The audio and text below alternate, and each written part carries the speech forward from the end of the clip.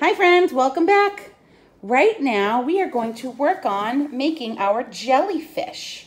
So you have this paper in week four of your binder. And so some things you're going to need to make your jellyfish is you're going to need the brown paper bag and your two black dots and your two white dots. You're definitely gonna need some paint and it can be any color and something to spread your paint. It could be a paintbrush and today we're using Q-tips. So the first thing you're going to do, let's look at number one, you're going to paint your bag. And you can pick any color. If you don't have paint, you can use markers or crayons. Yes. So you want to spread all the paint.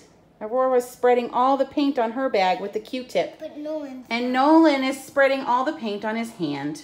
This is a very messy project if you're using paint. So you may want to put down some newspaper on the table and have a sink nearby. All right, so once you're done painting, you want those to dry. So we're gonna put them aside to dry. Then you're going to take your black dots and your white dots, and those are going to be your eyes. So you're gonna cut them out. You're gonna cut them out here.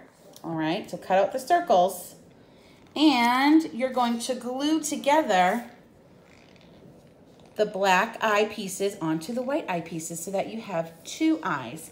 And they are going to be the eyes on your jellyfish once your bag is dry. Okay, hold on. When you're all done painting and your project has dried, you are going to cut your bag into strips. So moms and dads, you can draw lines on the bag to help your child cut on the line, or you can help them cut hand over hand. All right.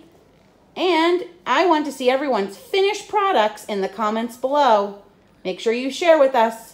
All right, have fun with this messy project. Aurora Nolan, can you say bye to the friends at school? Bye. All right, thanks for joining. Until next time.